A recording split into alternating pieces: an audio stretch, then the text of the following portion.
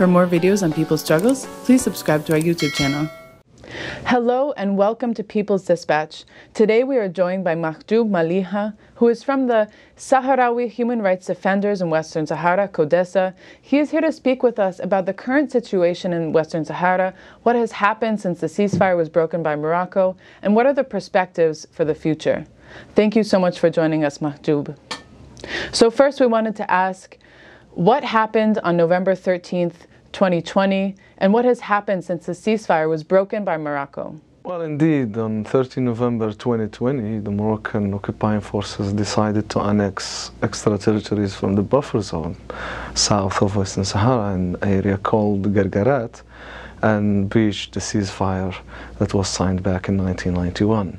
This is a declaration of the end of the ceasefire. Uh, the Polisario Front, which is the legal representative of the Sahrawi people, took its responsibility and actually forced to take arms in, in, in uh, armed resistance against the occupation in Western Sahara. After that, uh, the Moroccan occupying forces intensified its uh, imposed siege on, on the Sahrawi uh, cities in the occupied territories, uh, targeting the Sahrawi civilians who spoke a raised voice against the occupation uh, in Western Sahara, those who support the Polisario Front in the occupied territories, and mainly targeting the human rights defenders who basically report on the grave human rights violations and crimes against humanity committed by the Moroccan occupying forces. We see that uh, uh, the military presence in the streets of the cities in Western Sahara have been have been increased. Um, many uh, activists are put under under siege, under house arrest, temporarily or permanently, as the case of the Sahrawi activist Sultana Khaya, Wa'ra Khaya, and their family, who are now uh, since 20 November last year are under house arrest till today facing daily oppressions, daily harassment from Moroccan occupying forces.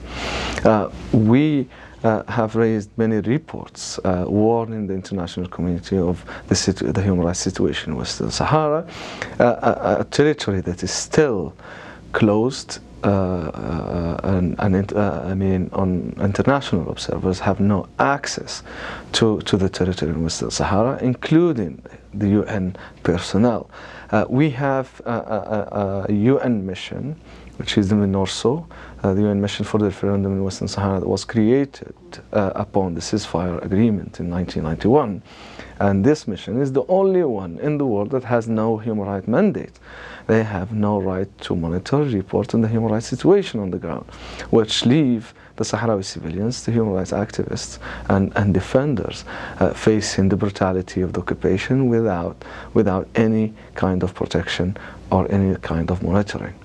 We know that Morocco's actions on November 13th, 2020, and since then were also inspired by a shift in the geopolitical situation in the region. Uh, former U.S. President Donald Trump helped push forward some agreements that gave Morocco more support in exchange for normalizing ties with Israel. Can you talk about the role of the United States in the situation in Western Sahara and what it means today? Previous U.S. administration have brokered uh, the Abraham Accord, as, as it's called, um, or the deal of the century. Uh, we see it as a trade deal, uh, not necessarily a political deal that, that respects uh, the people's wishes. Uh, Morocco indeed had or needed um, support from an international, uh, from the international community or from a country with the weight of the United States.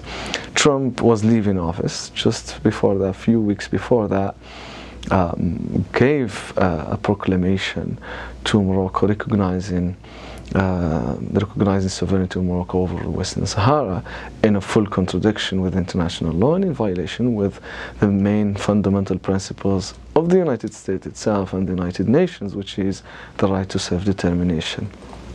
As part of this deal, uh, uh, actually doesn't change anything on the ground, doesn't change anything on the legal status of Western Sahara, which is uh, uh reaffirmed recently, uh, two weeks ago, by the highest court in the EU, the European Union, that, that have basically uh, annulled association agreement, free trade agreement, and fisheries agreement between the European Union and Morocco that illegally includes Western Sahara. The court highlighted that Western Sahara and Morocco are distinct and separate territories. Morocco has no sovereignty over Western Sahara, so EU-Morocco agreements have uh, cannot be uh, applied or applicable to Western Sahara.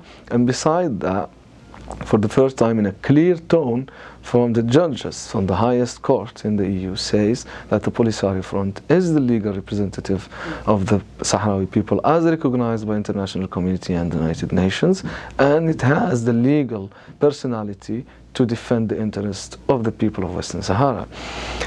Back to the proclamation, indeed, uh, it came after the breach of the ceasefire.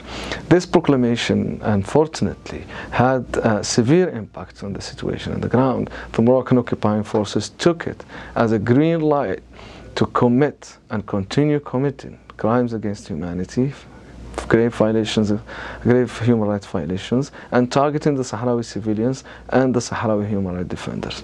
This is this is the only uh, uh, impact that that this proclamation had. It will not change that the people of Western Sahara has a fundamental right to self-determination. It will not change that Western Sahara is a separate country and separate territory awaiting decolonization. It is still under the fourth committee, the decolonization committee on the UN. It is still uh, uh, still considered as a non-self-governing non-self-governing territory awaiting the colonization process. And we know that beyond the role of the United States, of Donald Trump, of the Abraham Accords, of the deal of the century, there are also other interests at play. The, the European Union has interest in Western Sahara. Morocco has, of course, historically had interests in Western Sahara, but for a deeper reason, which has to do with its natural resources. Can you talk about this, uh, the natural resources that are located in Western Sahara as a root cause of the current conflict and how that has played in the situation today? Western Sahara is, is, is a rich territory uh, with natural resources. Um, phosphate, uh, for instance, uh, large stock of fisheries, um, potential oil and gas, and the renewable energy, the wind energy and the solar energy, beside other other uh, uh, um, minerals uh, with value in the territory. those are basically the main reason Western Sahara was colonized by Spain and it is and remains the main reason the occupation continues from the Moroccan occupation or occupiers. Morocco to sustain its military occupation and gain not necessarily the international support but to, to maintain uh, silence on the international level using this, these uh, natural resources to, to bribe uh, uh, the international community or major players in, in, in, the international community, including the European Union. We see the fisheries agreement uh, and the trade agreements and uh, many other economical um, contracts or treaties that, that are, or, or licenses given to major companies to, to, to buy their political support. This will not, will not of course, uh, not be respect with international law, uh, but it is, uh, it is uh, surprising to see uh, countries like the United States, the European Union, who claim to be defenders of international law, creators of democracy, and defenders of human rights, they all fail and contradict themselves when it comes to Western Sahara just because they have strategic interest in the region or in the territory itself. Uh, we don't necessarily disagree on guaranteeing interests of those uh, countries and mainly the, the, their peoples uh, we, we are open to have co collaborations, cooperations with those countries for the interest of, of their people, but not uh, not uh, against the interest of our people. Uh, there should be a mutual, a mutual understanding, a mutual agreement that benefit both parties. And of course, we are uh, a nation that's still under occupation, uh, and we of course we can benefit we can benefit in building our country and building our state from those partners but partnership should be should be an equal an equal ground. The breaking of the ceasefire uh, between Western Sahara and Morocco was seen as a huge setback. Uh, you mentioned the rampant human rights violations that have occurred. Can you talk about what are the perspectives for peace in the region and what does this mean to the Sahrawi people? Uh, peace, uh, peace in Western Sahara uh, lasted 30 years, almost 30 years, uh, with with no progress. Um, and we need to highlight that the Sahrawi people, by nature, is a peaceful people. Um, to wait 30 years, it's you need to be patient enough to to to keep believing in peace. But but we see that there is no will from the international community, and mainly the Security Council and, and some of the member states, uh, there is no will to maintain peace in the territory.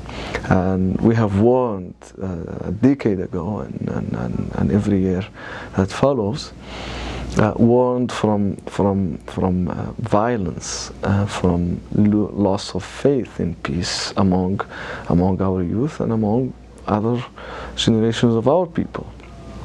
And here we are now, everyone is shouting uh, against peace and shouting for the armed resistance. And we don't think that is a healthy thing to have, but but we are not responsible for that for that outcome. It is the failure of the United Nations, the failure of the international community to guarantee peace and to guarantee a peaceful resolution and, uh, uh, uh, and, and completion of the decolonization process in Western Sahara.